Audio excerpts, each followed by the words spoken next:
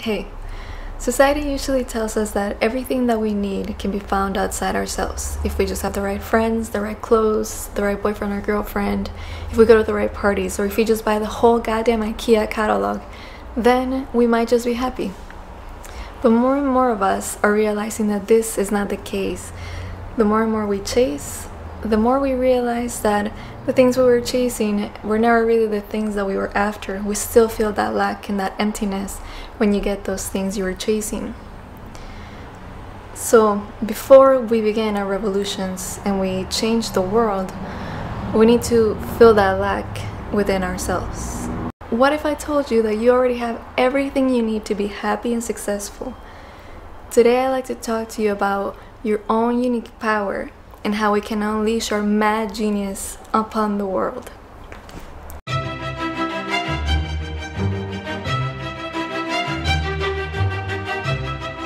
I've been reading this book called The Seat of the Soul by Gary Zukav, and it centers around the idea of authentic power, power that comes from within you.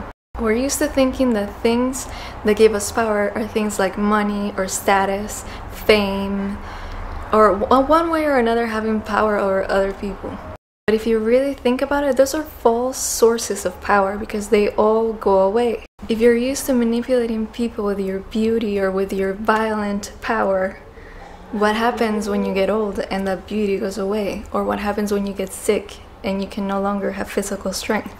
If you use your wealth to get your way, what happens when you go broke? When you believe that things outside yourself bring you power, you will always live in fear fear that it won't last, that somebody will take it from you, or fear that somebody else will have more power than you. Therefore, the things that give you true power are things that come from within yourself your talent, your intelligence, your heart, your soul, how you affect other people by communicating with them or interacting with them. Those are things that can never be truly taken from you, which sound like real power to me. And under this proposition, everything around you becomes irrelevant. You can be homeless or in prison, like I said, and be a truly powerful being. Like we saw in somebody like Nelson Mandela, who was in, in jail for like 27 years, and he came out and he was still a powerful being. And at the other end of the spectrum, you can be somebody that has a lot of wealth but if you don't have true power that comes from within, you could still feel powerless, even though you may have monetary abundance. So, under this theory, you already have everything that you need to be happy and successful at your disposal. You don't even need to purchase anything.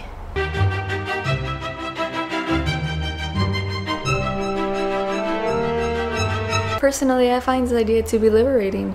If nothing outside myself will ever bring me true power or complete satisfaction, it's already within me what I need to achieve those things. Before you get there, actually, the biggest obstacle is realizing who actually are you.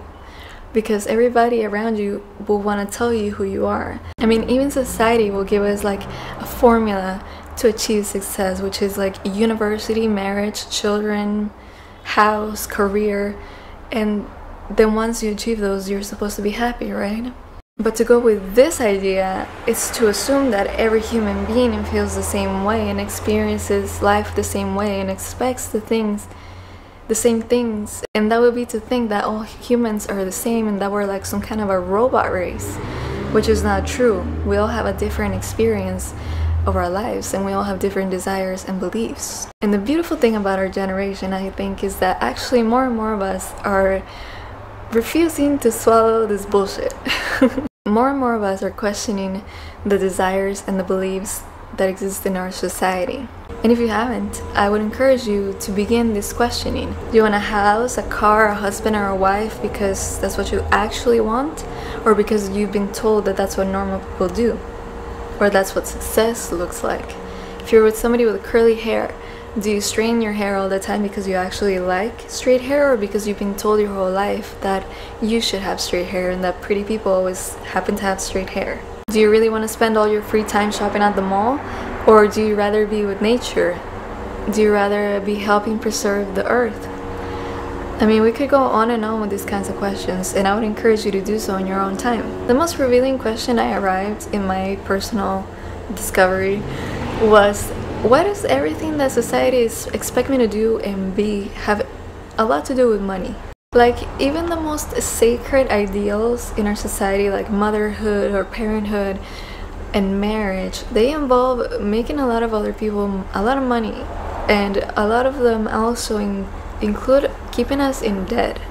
The answer to this question is obvious, but what I'm really trying to get at is what do you actually want to experience? Because no one else in this world except yourself is gonna make sure that you get there. Like, even our families, who are people that tend to have our best interests at heart, even our family can sometimes want different things for ourselves than what we truly want in our heart. So, to truly act in ways that favor you and that support what you really want to do in life, you have to strip away every idea and every belief that's been placed upon yourself by people outside you. Like, even if you arrived at the same ideas, even if you still wanted to get married and have children, wouldn't it be more empowering to know that you still wanted those things because it came from somewhere deep within you than to just mindlessly follow those instructions because that's all you've heard you should do in your life? To me, the real question becomes are you living the life you want to live or are you just making other people money without you even realizing that you're not living the life you want to be living?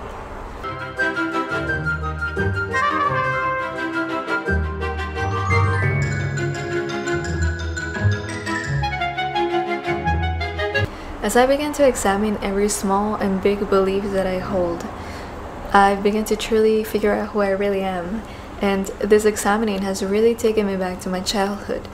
Maybe I've just read The Catcher in the Rye way too many times, but I kind of feel like when we were children, we were already the, our most authentic selves because we didn't have concepts of what we should do or how other people thought of us. We mostly just acted from our heart and we did whatever felt good in that moment. And you came back to the things that felt good to you. At least if you, for the most part you had like a happy childhood. Just very recently it hit me that when I was a child, uh, whenever I would get bored, I would start doing very creative things. I would start dancing and learning the the dances from the Backstreet Boys videos. I would start painting, playing Legos. I would start making clothes, putting collages together. I was just trying to entertain myself and being very creative. And as I stopped playing and I became a teenager and then an adult, I, I didn't play anymore. And so, of course, I wasn't doing very many creative things anymore. Instead, what I did was like go to drugs and party to feel better about myself. Once I had this realization, I started replacing a lot of my partying with play and now I realize that I'm the happiest when I'm doing things that are creative because then I feel like like I'm talented. Even if it's something that's really small like a collage.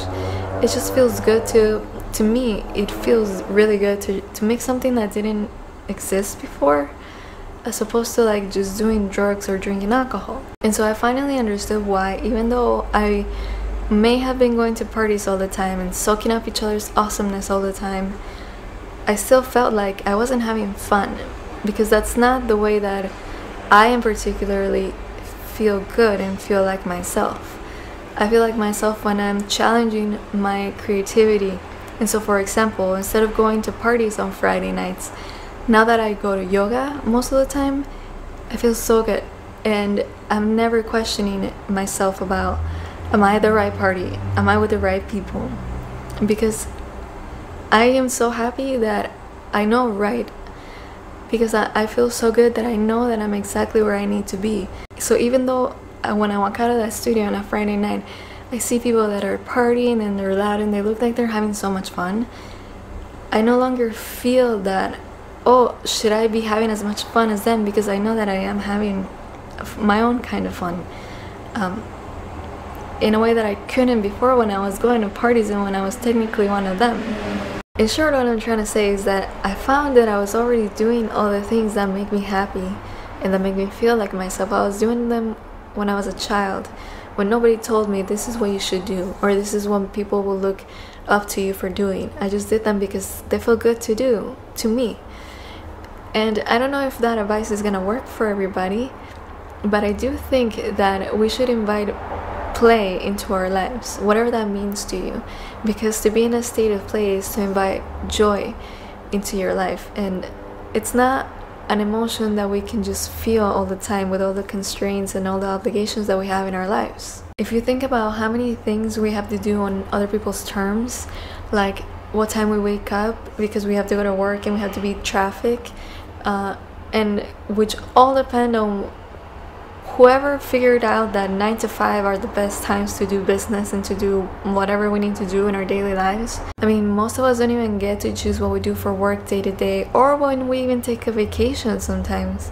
So much of our lives it's outside of our control that this constant you know, doing things for others or in other people's terms chips away at you and the most beautiful parts of you.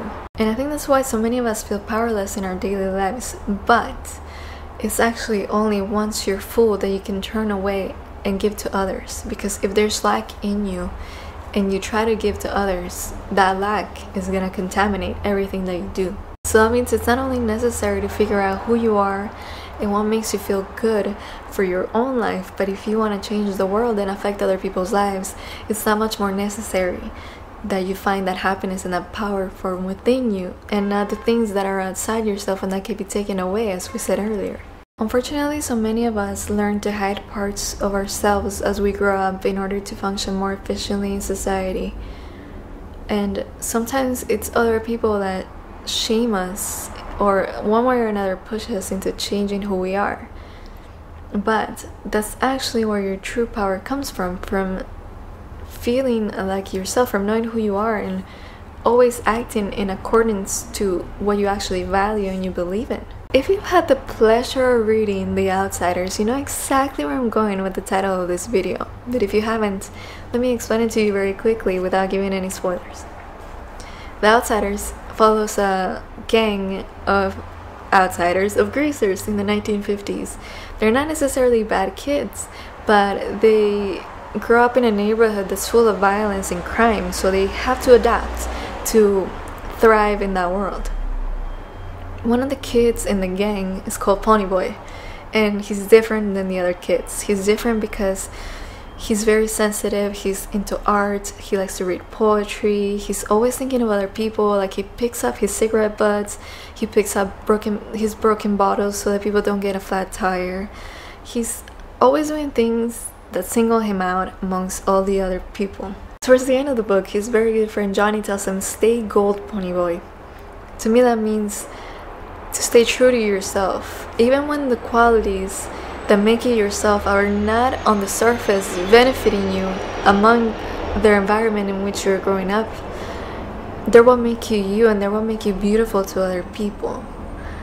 It's your responsibility to transcend the beliefs that society has, transcend your own situation, discover yourself, and stay gold, Ponyboy. Thank you for watching this video if you still are subscribe if you would like to continue talking about world domination.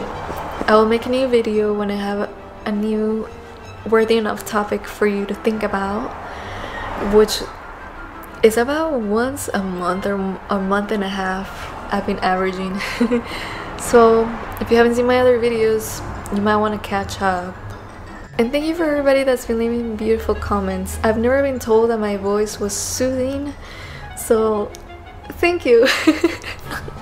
I've never gotten a compliment before. Um, I guess it feels good. I mean, it doesn't feel bad. It's just, I was surprised that a lot of people have been saying that. Um, but thank you for letting me know.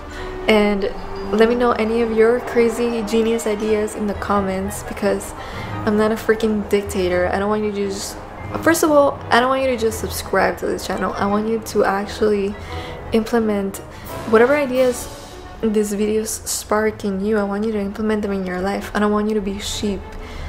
I think if you're watching this channel, it's because you want to be a leader. So if you have any brilliant or you know just any ideas, just leave them in the comments and we'll be helping each other out as we go onto world domination.